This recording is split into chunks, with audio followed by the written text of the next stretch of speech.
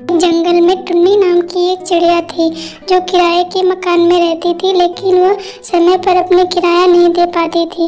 वह बहुत गरीब थी, तभी कालू सेठ अपने पैसे लेने आ जाता है। बोलता है, चिड़िया, मेरे पैसे दे दे, नहीं तो मेरा घर खाली कर दे। चिड़िया रोती है, बोलती है, मालिक, मेरे पास पैसे नहीं है, मैं कल तक आपको देने का प्रयास करूँगी। इतना कहकर कालू सेठ वहाँ से चला जाता है और जब वो घर पहुँचता है तो उसकी पत्नी गोरी बोलती है, कालू जी, इतनी ठंड में मुझसे काम नहीं होगा, तुम कोई नौकरानी मेरे लिए ढूंढ के लाओ। कालू तभी चिड़िया की याद आती है। वो सोचता है, इतनी अच्छी फ्री की नौकरानी मिल जाएगी। वह चिड़िया के पास जाता है और कहता है, अगर तुम मेरे घर का काम करो तो मैं तुम्हें अपने घर में रहने दूँगा। चिड़िया मान जाती है और अपनी बेटी के साथ कालू के घर चली जाती है। और वहाँ पे जाकर घर का सारा काम करती है। उसकी पत्नी उसे घर का सारा काम समझा देती है। गोरी बहुत दुष्ट थी। वह दिन रात उससे काम करवाती है। चिड़िया बेचारी दिन भर खाना बनाती, बर्तन धुलती और उनकी सेवा भी कर ठंड लगने की वजह से चिड़िया की बेटी बीमार हो जाती है, उसे बहुत ज़ोर से बुखार हो जाता है और वो ठीक नहीं होती। चिड़िया के पास पैसे भी नहीं थे कि वो उसका इलाज कराए। वो अपनी इस बेबसी पे बहुत दुखी थी। उस फिर वह कालू सेठ के पास जाती है। कालू सेठ से बोलती है सेठ जी, मुझे कुछ पैसे दे दीजिए। मेरी बेटी की तबीयत बहुत ख़राब है। उसे बहुत तेज़ बुखार है। मुझे उसे दवा कराना है।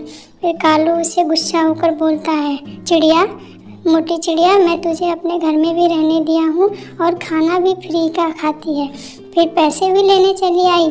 फिर चिड़िया फिर से बोलती है, मालिक, मैं अब आपके पैसे वापस कर दूँगी। लेकिन कालू बोलता है, नहीं। फिर चिड़िया बहुत गुस्सा, बहुत दुखी होती है और वह कालू सेठ का घर छोड़कर चली जाती है। और बहुत तेज़ बारिश हो रही थी और वो दोनों माँ बेटी ठंड से बहुत तेज़ी से काँप रही थी गुड़िया की और तबीयत खराब होती जा रही थी लेकिन उसके पास रहने के लिए घर नहीं था। वो एक टूटे छाते में रहती हैं। तभी गुड़िया की बेटी उससे बोलती है माँ क्यों नहीं हम एक चाय की दुकान खोलें और सबको चाय पिलाएँ? चिड़िया बोलती है लेकिन बेटा हमारे पास तो दुकान खोलने के लिए भी पैसे नहीं हैं। फिर गुड़िया बोलती है मम्मा क्यों नहीं हम मैना आंटी से पैसे ले लें और चाय की दुकान लगाएँ? चिड़िया बोलती है ठीक है बेटा मैं मैना आंटी से बात करूँगी। चिड़िया तुरंत मैना के पास जाती है। मैना बहन, आप मुझे कुछ पैसे दे दें। हम चाय की दुकान लगाएँगे और उससे जो भी फ़ायदा होगा, हम आपको पैसे दे देंगे। मैना मान जाती है। वो बोलती है, चिड़िया, तुम्हारा पति भी बहुत मेहनती था, इसीलिए मुझे तुम पे भरोसा है और मैं तुम्हें पैसे दे दे रहा हूँ। लेकिन मेरे पैसे टाइम पे वापस कर देना। चिड़िया मैना आंटी से पैसे लेकर एक बहुत ही अच्छी चाय की दुकान खोलती है और उन्हें बहुत बहुत धन्यवाद देती है और वादा करती है कि मैं आपके पैसे समय पर लौटा दूँगी। फिर चिड़िया दिन भर अपनी दुकान चलाती और सबको गर्मा गर्म चाय पिलाती। कोई भी जंगल का पक्षी उसके पास ही आकर चाय पीता था। इस तरह चिड़िया के पास धीरे धीरे पैसे इकट्ठे हो जाते हैं और वो अपनी और अपने रहने, बेटी के रहने के लिए घर बना लेती है और वो दोनों बहुत खुश होते हैं और चिड़िया दिन रात मेहनत करके मैना आंटी के पैसे भी वापस कर देती है।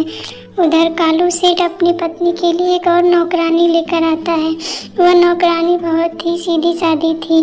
गोरी उसको अपना काम समझाकर दोनों घर से बाहर घूमने चले जाते हैं। छोटी चिड़िया उस घर में अभी खाना बना ही रही होती है, तभी गलती से उसके हाथ से चिंगारी छोड़कर घर में आग लग जाती है और सब कुछ जल के ख़त्म हो जाता है। तभी गोरी कवि और काले कौआ आते हैं और अपना घर जला देखकर बहुत रोते हैं। उन्होंने जीवन में कोई अच्छा काम नहीं किया था जिससे उन्हें कोई अपने घर में रहने दे। इसीलिए बच्चों, कभी भी हमें किसी के साथ बुरा व्यवहार नहीं करना चाहिए।